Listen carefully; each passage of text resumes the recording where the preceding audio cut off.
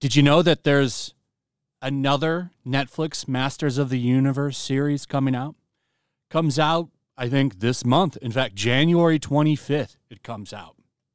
And the comments on this video are quite interesting, such as when you see this series, He Man will not be the protagonist.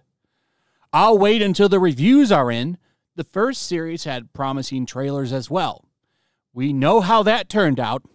I won't give Kevin Smith any of my time until I'm sure I'm not wasting it. And I can't figure out why Evil Lynn isn't treated like the war criminal that she is. Uh, this one says it's going to be absolute shit. Well, this is going to be shit, but uh, the trailer, like the first series, looks good. Uh, I cannot deny that this trailer looks great. A lot of He Man in it. A lot of He Man in it.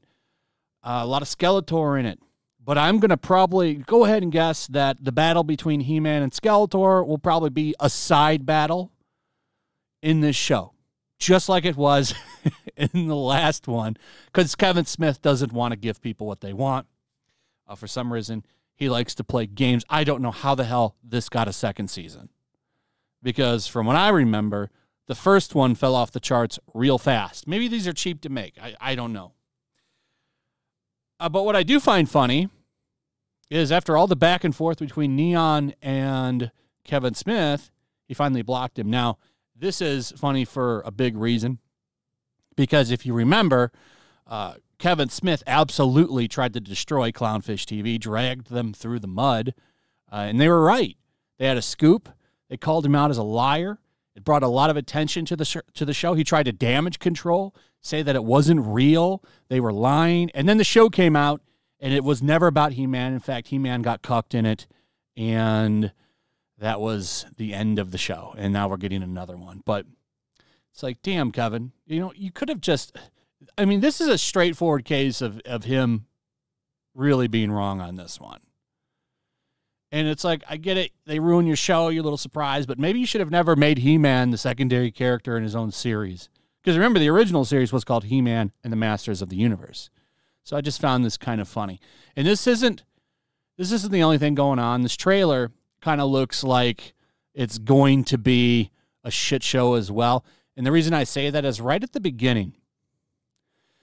The first thing you hear about this trailer is Adam talking to his father who's dying and telling him, You can't be He Man and a king at the same time. So he's going to keep the power and give the king the king's crown probably to, to a woman. That's my guess. Or he's going to keep the crown and give the He-Man power to somebody else. And I bet you a dollar it's going to be Andra. Remember the the other character, the female character they, they introduced, who's probably uh, lovers with Teela. So I'm just saying, it's uh, it's not looking good. I don't think this show is going to be is to be good. I think it's going to be more of the same, and a lot of people are seeing that. They put a lot of He-Man in this trailer. I'll say that. Uh, but the first one had it as well. Now, the really interesting thing about this that I want to point out is that the views are really low. Uh, this only has 184,000 views. Now, the first trailer for this series, Masters of the Universe, uh, whatever, I forget the name of the first one. That trailer had like 9 million views. I think this is important. Here it is, right here Masters of the Universe Revelation official teaser. Two years ago, 9 million views. Why is that important? The reason I think that that's important is because it shows you just how far interest has fallen for this series. Now, if you look here, the official teaser that dropped two months ago is only at 494,000 views. Okay, three months ago, 580,000 views for a first look. They gave us a, a whole scene He Man versus Scareglow. Got a whole scene on it. Still doesn't even crack a million. If they had just done the show right, this is what this tells me by looking at this. If this show had been done right in the first place and given people the He Man show that they deserved, uh, this show would also have millions of views on it, and people would probably be excited for it, and they wouldn't be saying shit like, uh, I have the power to not watch this garbage from Master of the TDS. Where's Teela? Isn't this her show? Uh, Nightwing says, I want to trust you, but you lied the last time. Jacob, Jacob Airy says, nice try.